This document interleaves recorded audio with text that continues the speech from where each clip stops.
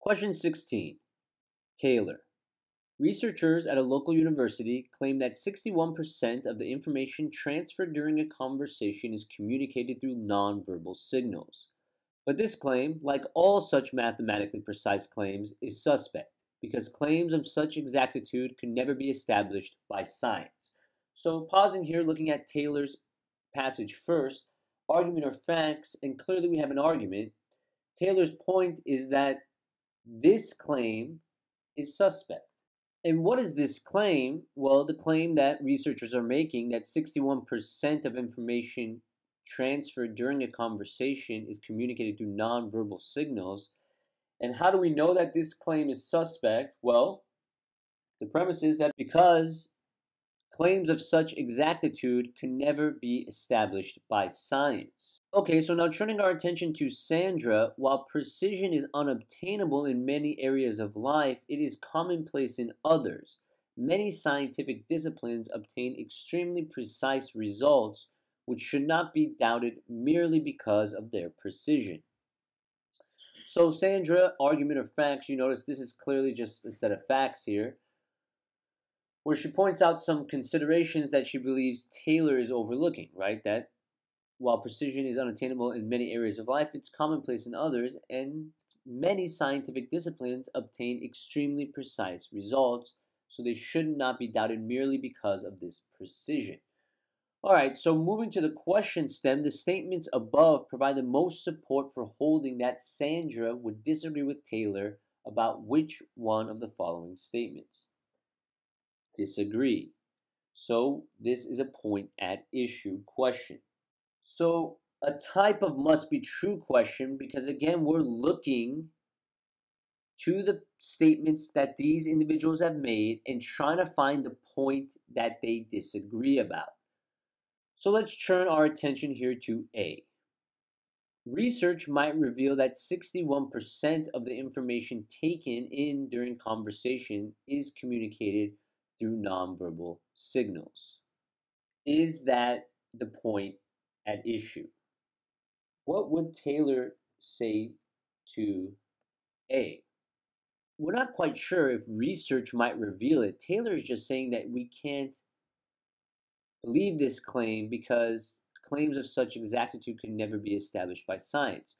So actually, I guess Taylor would disagree with this. He does not believe that research can reveal this because claims of such exactitude can never be established by science. So, safe to say that Taylor disagrees. But what about Sandra? Do we know what Sandra thinks about A?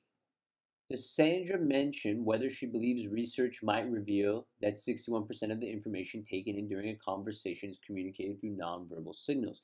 And you notice she does not mention that. Sandra's claims are much more broad, much more general, doesn't address A, so we don't know Sandra's opinion, so A cannot be the correct answer and A would be eliminated. Again, we're looking for an answer choice where somebody agrees and the other person disagrees. Which brings us to B. It is possible to determine whether 61% of the information taken in during a conversation is communicated through nonverbal signals. So kind of similar to A research might reveal. B says it is possible to determine. But again, this is what Taylor seems to be taking most issue with this idea of being able to determine whether this claim is accurate, because again, such claims of exactitude can never be established by science. So, again, seems like Taylor would disagree with that statement.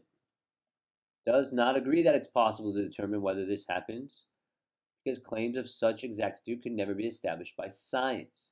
What about Sandra, though? And again, you notice same problem that we had in A, we have in B. Sandra does not address this. Sandra's claims are much more broad and general. So we do not know Sandra's opinion on B, so B is out. C, the study of verbal and nonverbal communication is an area where one cannot expect great precision in one's research results. Well, do we know what Taylor thinks about C?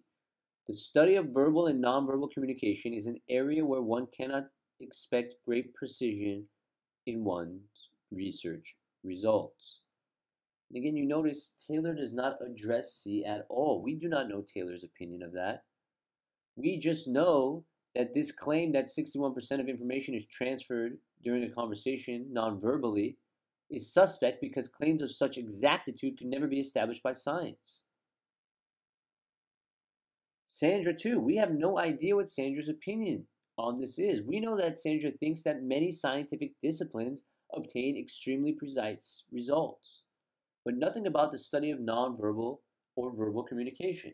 So again, we do not know either's opinion on C, so C clearly does not follow. Moving to D, some sciences can yield mathematically precise results that are not inherently suspect. So let's take a look now. What does Taylor think about D? Well, if you look at Taylor's last sentence, his premise is claims of such exactitude could never be established by science. So clearly, Taylor disagrees that some sciences can yield mathematically precise results that are not inherently suspect. So Taylor clearly disagrees, but what about Sandra? And you notice Sandra says many scientific disciplines obtain extremely precise results that should not be doubted merely because of their precision. So Sandra agrees with D. So D, Taylor would disagree with it. Sandra agrees with the statement. That is their disagreement. It is the point at issue. So D would be the correct answer. But again, just making sure, checking E, if inherently suspect claims are usually false, then the majority of claims made by scientists are false as well. So we see a general principle in E, and clearly we know neither Taylor nor Sandra's opinion on this general principle. They never address it. So how could E be their disagreement? E is eliminated.